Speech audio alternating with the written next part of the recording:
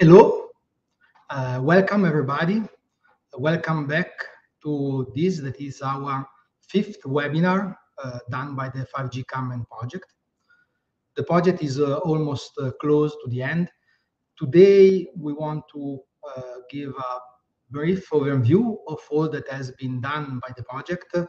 And then we will uh, really focus on the role that the small medium enterprise had in our project. So Um, there will be me providing this introduction to the main topics and objective of the project.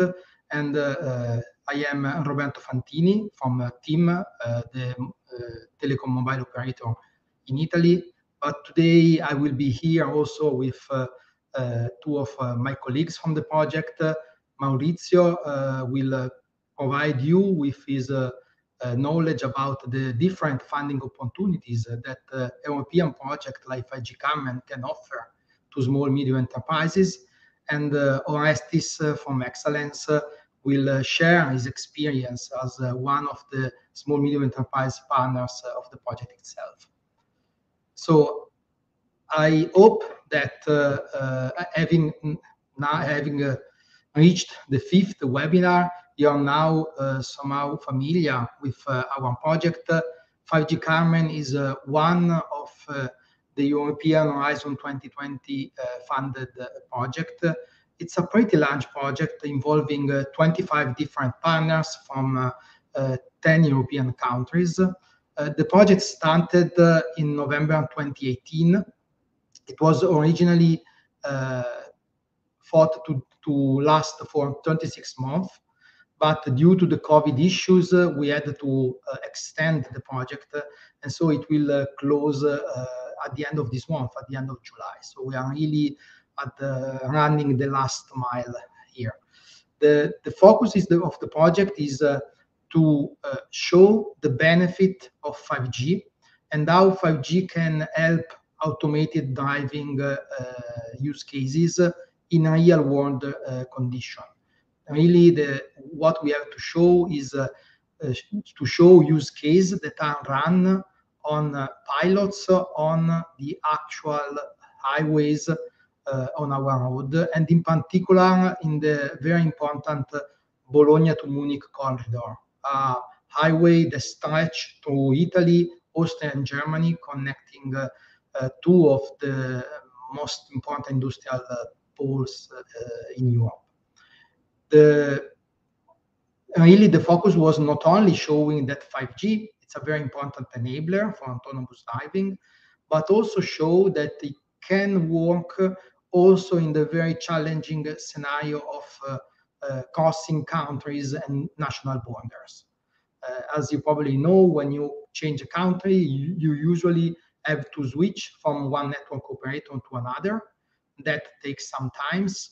And also the quality of services when you are in roaming, it's not the same that you have uh, in your national borders. So uh, here uh, the focus was to show that also with this very challenging from a network point of view conditions, the system, thanks to the advance offered by 5G, can work and can push autonomous driving up to level four. Um, the we have different partners involved in the project. Obviously, mobile operators like TIM, Magenta, Deutsche Telekom. We have uh, um, car manufacturers, uh, Stellantis, BMW.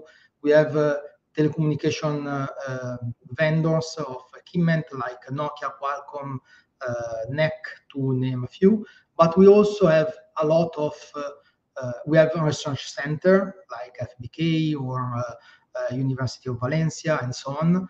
Um, but we also have different small medium enterprises. To to be able to analyze the very challenging use case that we had in mind we needed the help of uh, companies with very different expertise. And uh, we found that also on uh, some small medium enterprises that provided some key elements to the project.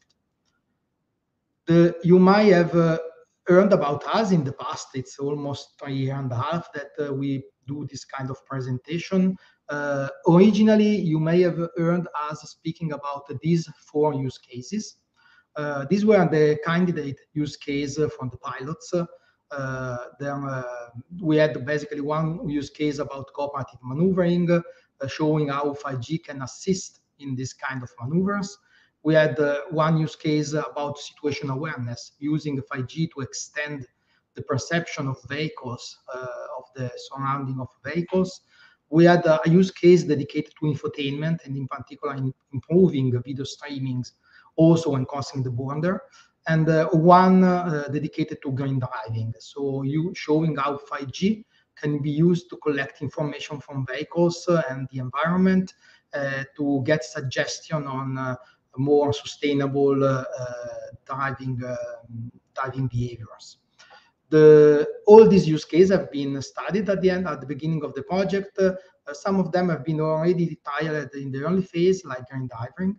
But then, uh, in the final part of the project, the 5G Commission asked us uh, to focus on those that were more challenging from the 5G point of view. And so we selected the first two, and we merged them in two new scenarios, where cooperative maneuvering and situation awareness work together to support cooperative driving. Uh, these uh, new use cases that uh, have been obtained, we have differentiated them in cooperative and automated lane change maneuver, and cooperative and automated in-lane maneuver. So we have differentiated them on the type of maneuvers that we needed to do. In a cooperative lane and automated lane change maneuver, we have shown that exploiting vehicle-to-vehicle and vehicle-to-network communication, and using the Uh, knowledge that can be you can be gained of the environment through the 5G network, it is possible to help cars uh, doing uh, challenging maneuvers like lane change. Here we see, for example, the red car that needs to change, enter the other lane, and so through the communication offered by 5G technologies and V2V technologies, it can coordinate its maneuver with the other vehicle. So asking, for example, the blue vehicle in the back to slow down, and the blue vehicle that is ahead to speed up, so that they can create a gap, and uh, so that the red car can safely change lane and merge uh, the lane that is occupied by the other vehicles. Uh, In-lane maneuvers, here the idea is a little bit different. The idea is that we aimed to be able to keep Level 4 automation, so Uh, being able to have the car that it drive itself, also in a unpredictable situation, like the presence of a queue that cannot be detected directly by the vehicle itself, but that can be detected by other connected vehicles. So that the red car can be informed in advance that, for example, there's a queue in the exit lane, and it can abort the exiting the the maneuver to exit the lane, and it will keep its lane because there is a queue there. Or, for example, maybe the uh, the red car want to uh, overtake and change lane, uh, but maybe there's a um, emergency vehicle coming from behind. And so through the 5G network, the emergency vehicle can inform all the vehicle that it needs a free lane to pass, and so that all cars will keep their lane and will not occupy the lane. This use case needed some technological enablers to be demonstrated. Obviously, we needed to have 5G deployments. Those have been provided, uh, at the particularly at the border from Italy and Austria, and Austria and Germany, by network operator.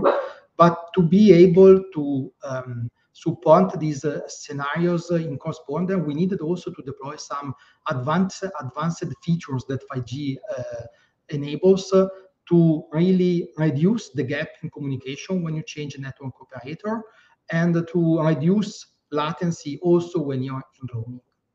Latency is a very important KPIs for for autonomous driving use cases. And in order to keep latency low, we have deployed the service on the 5G network, exploiting edge computing platforms. These are uh, basically servers that are deployed in such a way that they are close from a logical point of view to the service on the on the highway. Uh, this computing platform uh, have been deployed in Italy, in Austria, and Germany, and to support service continuity, we needed to connect them and deploy also an orchestration platform that handles the service continuity and uh, that uh, moves the service context from Italy to Austria, where, for example, when you change uh, country. This, is, this was also probably the play, really the playground for uh, our small medium enterprises because uh, on this edge platform we have uh, hosted services and functionalities for example about security that have been deployed by all the different partners of the project including in particular small medium enterprises Beside that, we needed also some uh, additional technologies for like message brokering. It's a technique that allows to send messages to car in a georeferenced way so that only cars that are really interested, that are physically in a position where the message is important, get informed of what is going on. We needed precise positioning. It's a technique that allows to use 5G network to send correction information that enables to improve the quality of the of GPS localization. And with that, we have shown that we are able to reach a positioning precision of less than 20 centimeter. And we had predictive QoS, that is a feature that allows to uh, predict network condition in advance so that services can be adapted to respond, for example, to network congestions or uh, uh lack of coverage in certain areas. All of this has been deployed and put in place. Um, and uh, we started trialing in the first phase in inside the country borders, so uh, in Italy and in Germany, in uh, near close to Trento and uh, close to Munich, respectively. But then we moved to the cross border. That was really the target of our project in particularly in Brennero uh, between Italy and Austria, and in Kufstein between Austria and Germany. Uh, and uh, we have deployed everything that was needed to set up the use cases, all completed all the integration and functional test of all the, the functionality that uh, that are needed by the use cases. And then, uh, since we are basically at the end of the project, we were able to demonstrate our use cases. We have done some demonstration, and we are now um, basically closing the project by collecting KPIs and evaluating the use cases at the border. Uh, everything will be collected and uh, uh, reported in the final deliverables that are due by the end of this month. The demonstration, by the way, has been also done in public. Uh, we have uh, um, we've done an event at the end of uh, June, the, on the 22nd of June, showing the use case on the live network using the highway at the borders. And um, it received a very good coverage by media. We are really pleased with the result. Everything went uh, smoothly, and uh, we were really able to show that the use case can be run in a real environment with commercial networks, by the way. So using not using prototypes, uh, but uh, of for the network part, but using the commercial network that the network operator provided. And obviously then prototypes for uh, the services that are on the MEC. Uh, so I hope I got your uh, interest, and uh, if you if you want to know more about our project, you can uh, follow us on our social, me social medias. We have Twitter, LinkedIn. We have a website where we collect everything and that we are now populating with all the last results. So please uh, uh, take your time to go there. You can also subscribe to our newsletter. There will be a final one that will be sent after the summer to summarize all that we've done. Uh, so please uh, um, don't be shy, join us. It will be good to hear from you. And with that said, as I said, is uh, we've had uh, um, a, a, big role was played by small medium enterprises, and this is true in general for all European projects. There are a lot of funding opportunities for uh, small medium enterprise. So uh, I leave here the floor to Maurizio Cecchi that can uh, uh, give you some hints on how to access these funds. Okay, thanks uh, a lot, Roberto, for introduction. Hello to everybody. My name is Maurizio Cecchi. I'm working in a research institute that is devoted to technology transfer. So, how to exploit at best uh, uh, results from innovation and research project with a specific focus on SMEs. So I will go in this short presentation and as said by Roberto, just to give a very short overview of uh, uh, the uh, research programs of the European Commission. Please, next slide. And uh, as you know, in, we are in the heart of the seven-year program that is called Horizon Europe. So it is the part of the European funding devoted to research, where SMEs can go directly to request for funding.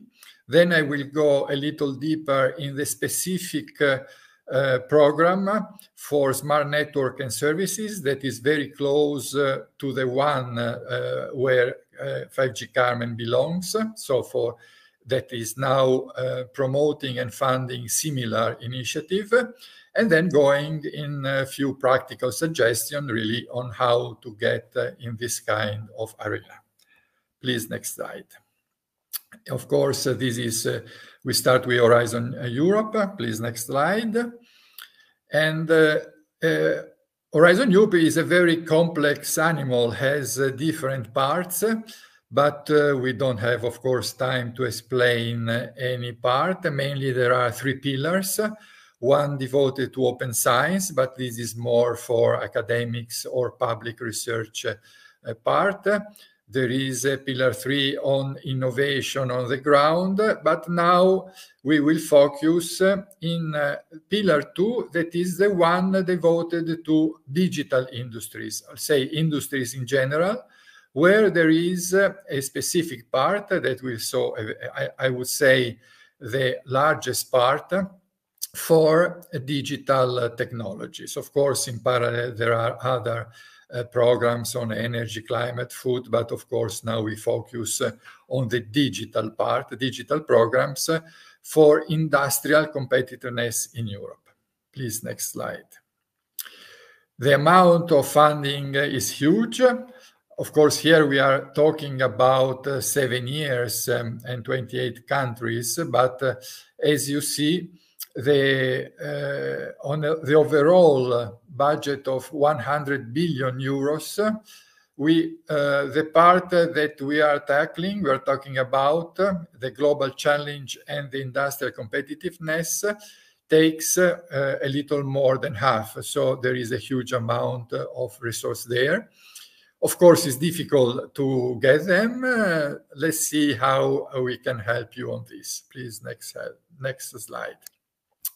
So we go now in something that is more close uh, to the environment of 5G Carmen or similar project.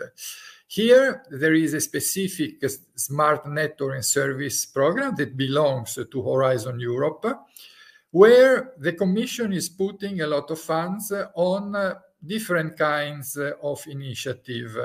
The first one is more an evolution of 5G toward the future so on the development of 6G, so something very close uh, to the continuation of 5G Carmen.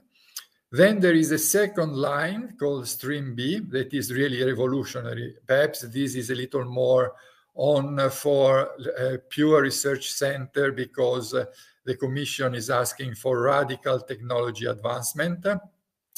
And uh, of course, here, I guess uh, that only SMEs coming from uh, university as spin-off uh, may be interested. Here, really, there is the part of the program uh, devoted to long-term vision, radical innovation. Then the third stream is uh, stream C, that is how the different industries and institutes in Europe can offer experimental infrastructure of course, for instance, also 5G Carmen was a, a, an experimental infrastructure that, of course, that can be used by any kind of initiative, other project in the, the program of people interested from outside. But then uh, I would like to focus more on the fourth one because uh, is a part on large scale uh, trials and pilots uh, like 5G Carmen. Here, the aim is to explore and demonstrate technologies in real world. And here, of course, use cases are the most important. And usually, the very uh, best people, I mean, that can offer innovative use case, new idea, new idea, creative ideas are small and medium enterprises. Please, next slide. Here you can see just uh, how is the dimension of this uh, program. For instance, in the first uh, call that uh, was launched uh, with the deadline of last April, there were 20, uh, 240 million euros, so just only for one call of tender. Here you can see, I mean, how much was a distribution of money in these different categories uh, because uh, we are talking about uh, the Stream D, so the initiative for um, use cases and field trials. For instance, in the very first beginning, there were 50 millions. That is usually around what the commission is putting for this kind of project it is very um, likely that next April there will be a second call, and uh, this part for field, trust, uh, field trials uh, will be expanded. So uh, you can see that uh, the, the, amount of money is large. In this case, as 5G Carmen, because you have to go in different countries, um, doing a lot of co cooperation and collaboration among uh, university, industry, small and medium enterprise, usually the consortium, so the group that is presenting the project is very large, around 20, 25 partners. So at the end, uh, every time you can expect from three to five large projects uh, funded by each uh, call. Please, next slide. So what uh, this stream, so this part of the program is asking, uh, so is uh, the aim, of course, is to demonstrate both the technological part and the business validation, because of course, uh, we, we don't uh, develop the technology only for the sake of saying uh, we are nice, they're nice and interesting, but of course, they should have an impact on the market, so in terms of business. So this project should demonstrate also the business value. Then, uh, of course, uh, this kind of large consortium are created to foster close uh, collaboration between ICT, let's say technology provider, but application owner, users. So in this term, is interesting both for SMEs that offer specific uh, technologies, but or are also interesting for uh, uh, small enterprises that simply would like to sell their application and put in, test a new innovative idea. so, of course, these projects are part of the large Smart Network and Service Program. So can rely on the platform. We mentioned, for instance, uh, the technology platform uh, of StreamD, uh, StreamC on other facilities. So if you enter in this kind of project, you can rely to a lot of facilities and infrastructure already available. Then, of course, you have to explore and demonstrate technology device and your application. And of course, in terms of leadership of Europe, of course, in this kind of uh, program, because our research program, you have to, to show that it's something uh, that is useful for the technological leadership of uh, Europe. And in a very explicit way, SMEs uh, are expected to, to play a key role in this process. This is specifically written in the call but is uh, implicit in the kind of work you're doing because application, I mean, innovative application usually are coming from them. Please, the next slide. So for SMEs, of course, they can demonstrate uh, their validation, foster collaboration, and so on. Please, next slide. Sorry, not next slide.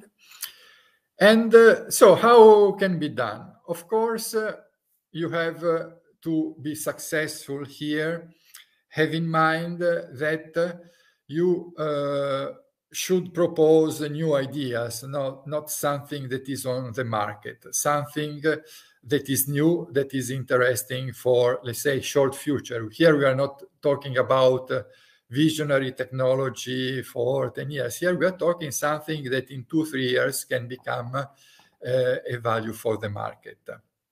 Then, of course, uh, we are talking about smart networks. As you know, 5G, I mean, started his deployment, uh, not fully. Some uh, specific, specificity of uh, the 5G should be uh, also put on the market uh, in a very short term. A lot of people are talking already 6G, but in essence, you have to propose use case and application where network performance is essential. Of course, here we are talking about 5G, 6G, smart networks.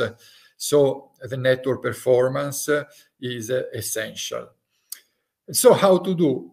The, as you know, the commission is very transparent, so it's very easy to find previous uh, successful pro project like 5G Carmen and many other.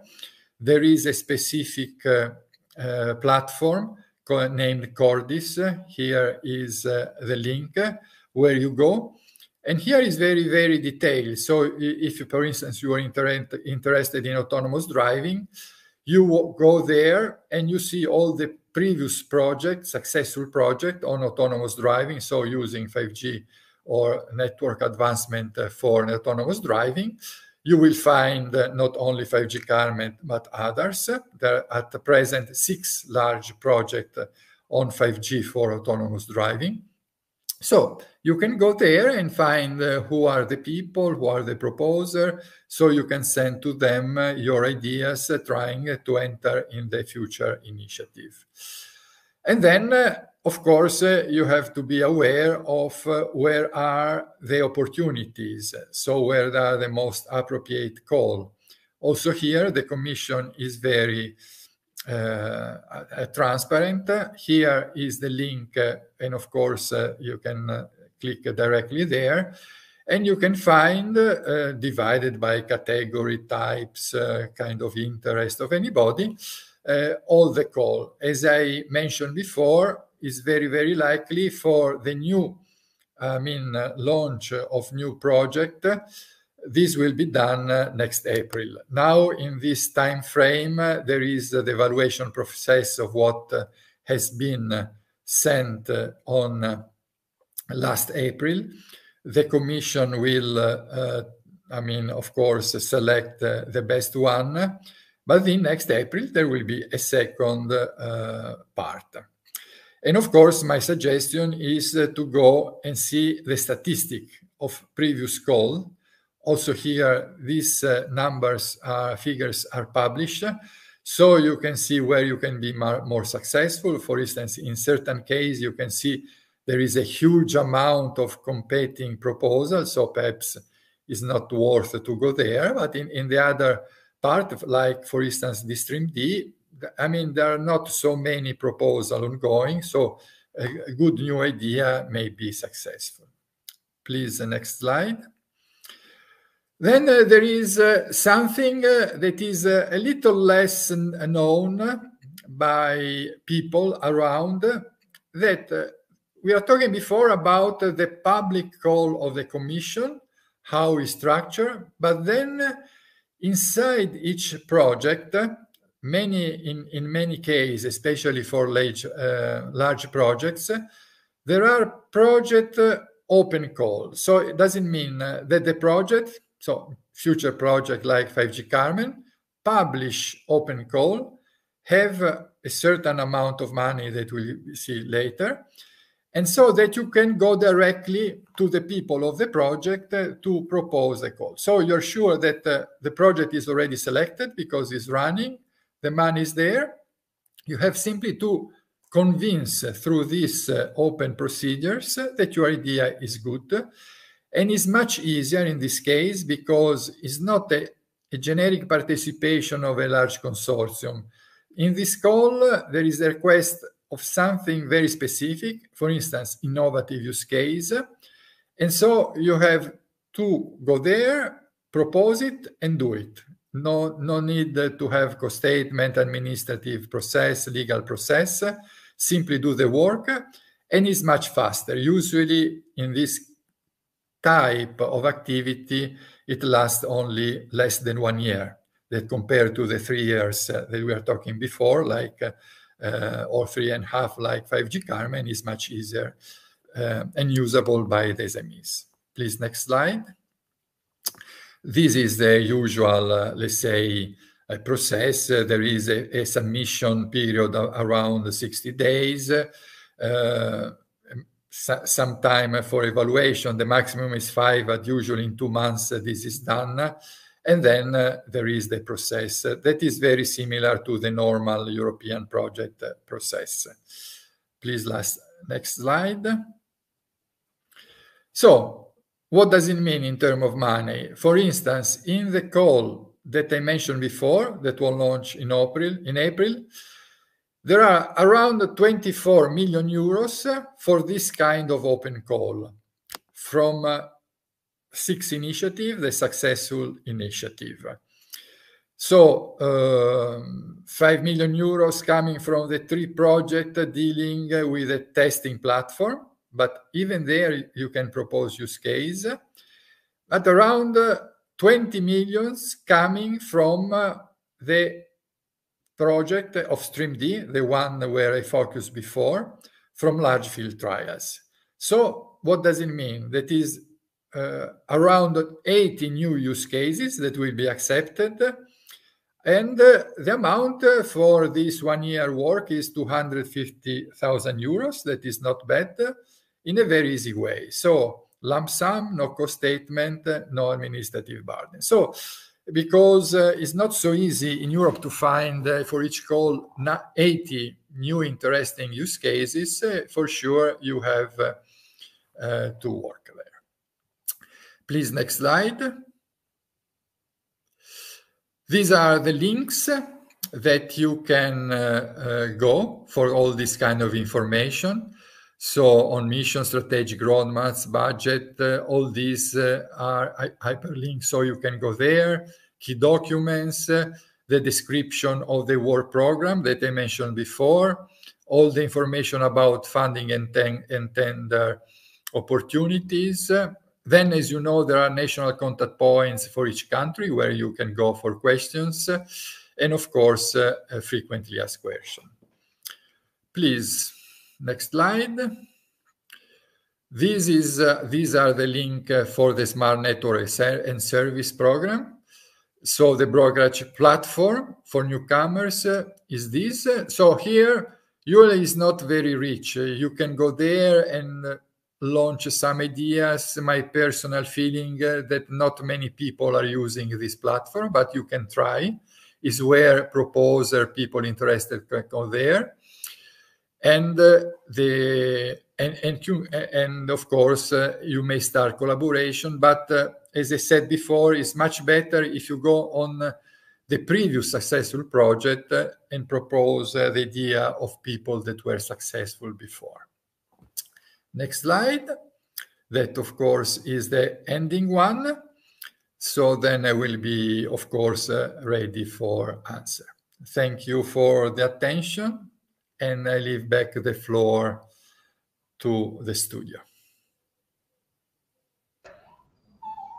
Thank you, Maurizio. Uh, thanks a lot for this uh, insightful presentation. Um, we can now uh, leave the floor to Orestes. Orestes is one of our uh, colleague in the uh, in the European project. Orestes Mavropoulos, he, he, he, works in excellence. Uh, it's and he will uh, share a little bit his experience inside the project and uh, inside the small medium enterprise. Thank you, Orestes. Hi everyone. Thank you, thank you, Roberto. Uh, I'm going to talk a little bit about our experience as an SME, uh, cybersecurity SME, uh, in acquiring funding and then moving forward to uh, getting more business opportunities and how we leverage our existing participation in EU research projects. Uh, can, ah, thank you. Uh, let's go to the next slide. Thank you. Uh, now, the agenda structure, I will speak a little bit about the company, uh, our role in 5G Carmen, and then we're going to have a discussion about the business benefits of participating in research and innovation projects, some challenges that you face as a cybersecurity SME in reaching the market, and some tips and in insights on how you can maximize your business impact from research projects. And then we will have a Q&A session. Now, excellence was um, actually driven by uh, a research-based company. So we started from academia. Uh, most of our experts uh, in cyberlens uh, have an academic background. Uh, a lot of them have an, an, academic and an industrial background. And the company was founded in 2015. Uh, our portfolio is around vulnerability assessment, cybersecurity detection and classification of uh, threats and threat response and recovery.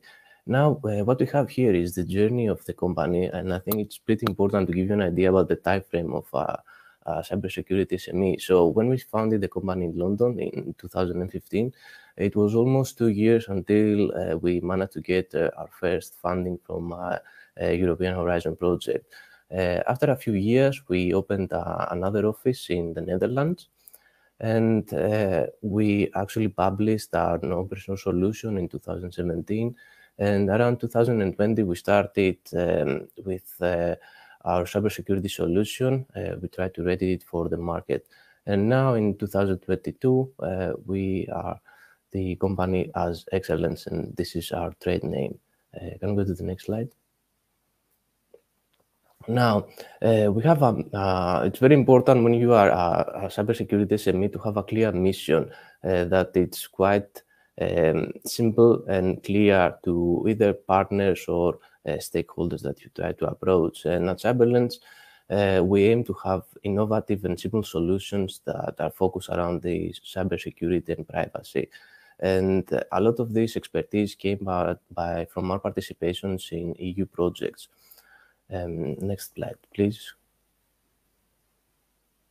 Um, now we have uh, different areas of uh, specialization. A big part of our portfolio is around telecommunications and energy applications. We also have some expertise in automotive, and we are also participating in several projects providing cybersecurity solution in healthcare. So we have a pretty um, a pretty diverse area of expertise that covers the different industrial and research domains. Next sector, uh, next slide, please. And now we, in, in Excellence, we also provide a solution uh, which is called Retina, and it's our uh, service and product. It's a cybersecurity, uh, cyber physical uh, cybersecurity tool which is aimed to protect the industrial applications. Uh, and the aim of this tool is to maximize production uptime uh, of uh, industrial application and then ensure that there is business continuity. So the idea of this tool is to make it simple to use, but also detect threats uh, that uh, evade existing cybersecurity tools, which is uh, a major selling point for our tool. And we, it notifies when the production is disturbed by cyber-related incidents. Uh, next slide, please.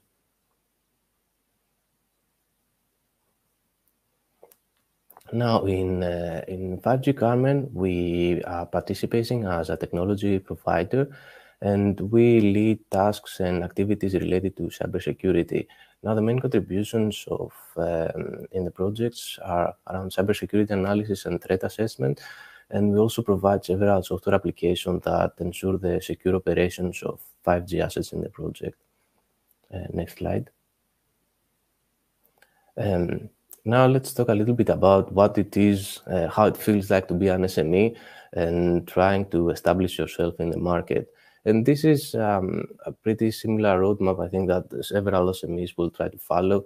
So the first point is you identify market need or a gap. Uh, based on that, you try to secure funding. Uh, then you try to develop a cybersecurity service to cover that market need. The next step is to actually secure more funding to make the, your solution better and then you have to go to market and hopefully you reach to the point of uh, getting some profit. Now, today in the talk, we're going to focus on uh, the market aspects. Uh, now, what are some of the benefits of participating in research and innovation projects? A major benefit is that you can subsidize your development costs. So you can get funding from research innovation costs and you can uh, use those money to cover a lot of the development costs. You can also cover equipment and uh, license software licenses and several other things that you need to, to develop your service. Uh, another major benefit is that you gain uh, a very big exposure to several industries, academia, and also how research applications uh, grow and move forward and then mature. Uh, essentially, it increases, uh, increases your engagement with the industry and the public. And this is a major benefit because as an SME, when you start, uh, when you start your company and your journey, it's very difficult to approach big industrial partners and uh, try to work with them to develop several solutions. And but with a research innovation project, this is something that is part of the project. So you can get in touch with them. You have several work packages that you collaborate with them to develop solution. And it's also a very safe place in order to have open discussions about what their needs are and how you can better leverage those needs to improve your products and services. And this leads us to our next point that through those contacts and through that exposure, uh, you can refine a lot about how, what your specific market niche is and how you can move your product or service to, to a direction that will um, cover the needs of the market.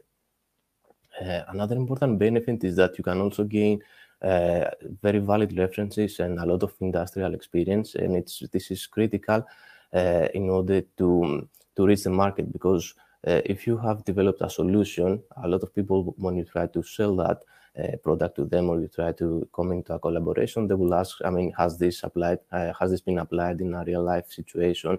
Uh, who did you work with to develop the solution? And through research innovation project, this is something that you can really answer. And uh, all those, a lot of those research products give you a very good and solid base uh, that you can approach people that you want to to collaborate with or stakeholders that you need to uh, further like your your product or service. Uh, next slide. Uh, however, there are some challenges, especially if you are a, newly founded SME on reaching the market. And the main one is how you differentiate yourself from the competition. Uh, now, for example, cybersecurity as, a domain is very broad. It has a lot of application and a lot of different niches, let's say.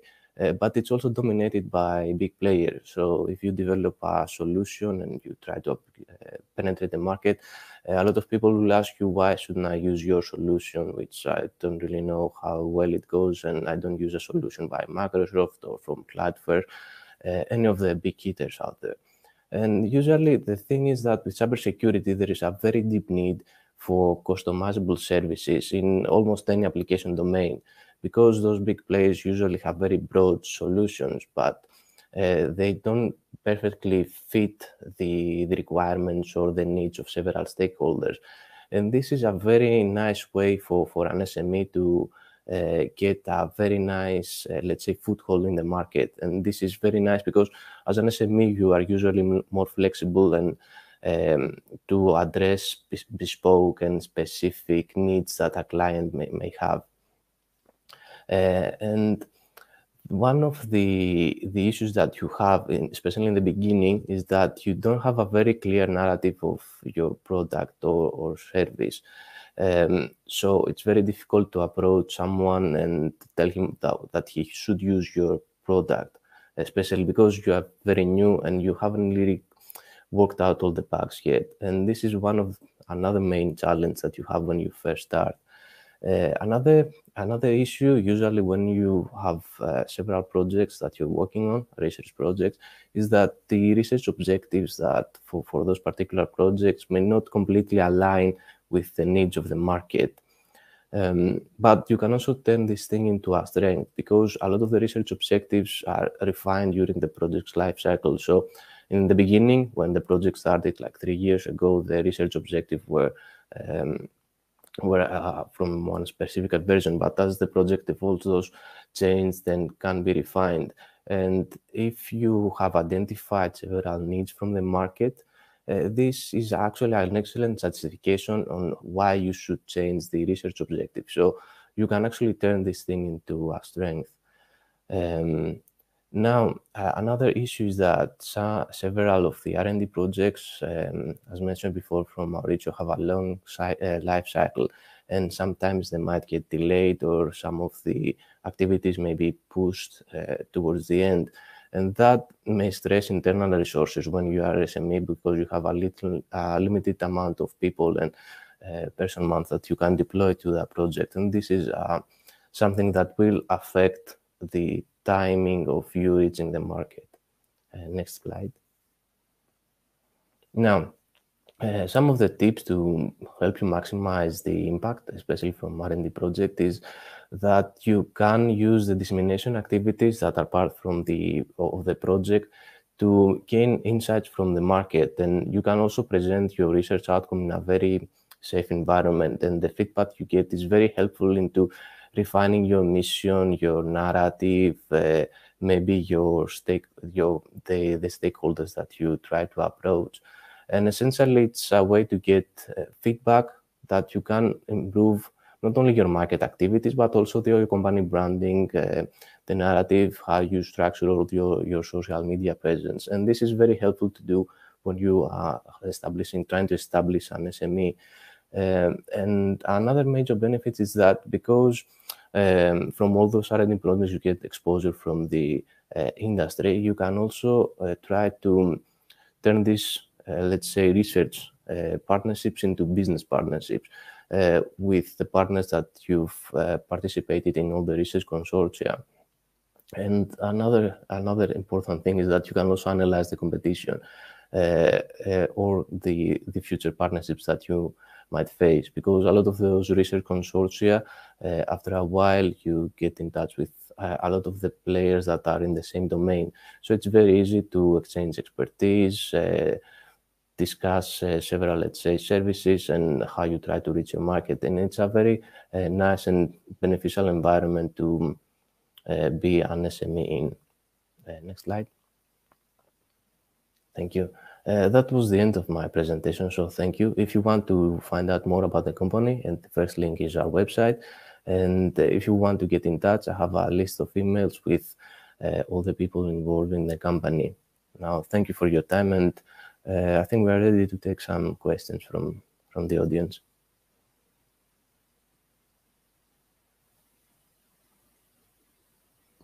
Thanks a lot, Orestes. It was uh, really interesting. Thanks for sharing uh, uh, your expertise, your view. As we have seen, it's um, obviously this kind of funding is a very big opportunity, not only for the funding themselves, but really for the kind of uh, uh, context and um, when uh, you get the opportunity to be in and for the kind of input that you can receive from this kind of, ex of experience and I really appreciate the, the tips that you have given because yes, it's a very big opportunity, but it's important to have this kind of uh, uh, feedback to help other SMEs to really get the most out of this uh, this kind of opportunity. So um, I don't think we have any comments or question coming now from the from our socials. Anyway, uh, uh, the, this webinar has been recorded and will be left available in our social platform for the future. Uh, so if uh, someone views this, uh, not now, but maybe in the future, uh, don't be don't be worried to ask question, put comments. we have also left all our contacts here, so we will be glad to to keep in touch and receive questions and answer them also in the future. Then uh, thanks a lot for uh, for your time. Uh, thanks Maurizio Orestes for your presentation. I think that's all from today. And mm. thank you to you, Roberto. Thank you. Thank you. Thanks. Bye bye. Bye everyone. Thank you for your time.